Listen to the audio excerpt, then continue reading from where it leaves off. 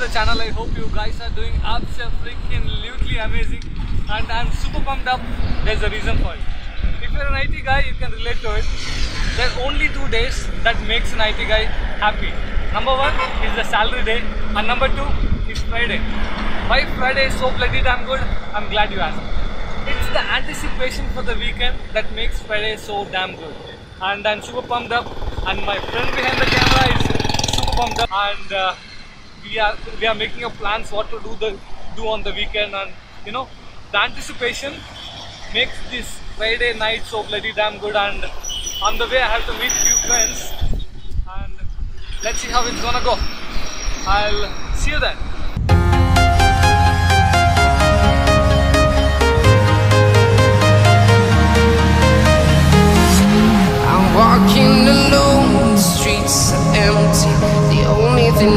See is my own silhouette.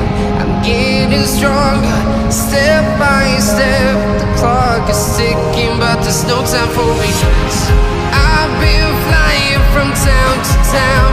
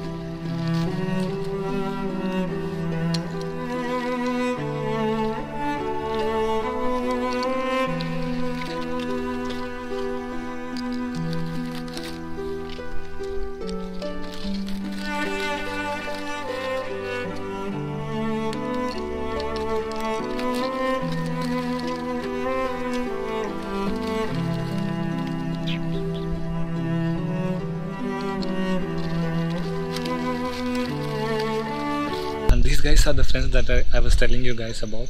Let me tell you a small story. I think it's a couple of years back i started coming in night shifts and these guys created a lot of problem for me. It's somewhere around 3 o'clock so i come home at this time. These guys created a lot of trouble for me. And you know i had an option to choose a stone or choose a biscuit. Me being me i chose biscuits. And these guys became uh, really good friends of me. I have a connection with them. Today is my last day in this shift so I won't be seeing these guys for uh, quite some time so it's kind of sad. That's it. So if you guys uh, like what you have seen please do like share and subscribe. And I think in life uh, you get to choose between it's not just with these guys I think it's with any relationship that you have in life. You can have uh, two options always. You have no idea how nice people can be to you if you're nice to them.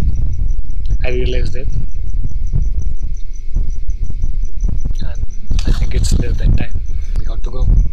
See you. Bye-bye.